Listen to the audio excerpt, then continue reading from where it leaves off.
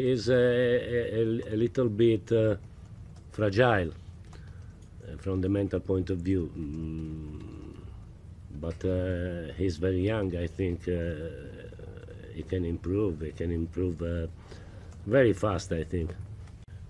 Or physically not, perhaps. You Drogba was one of the best in the world uh, for for 15 years.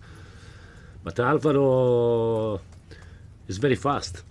Not in the first uh, two, three steps, but uh, if uh, he has to run for 40 meters, uh, he is very fast.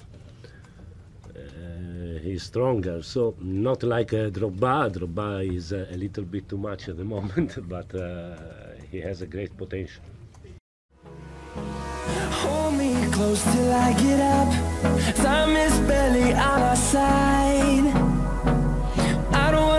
what's left.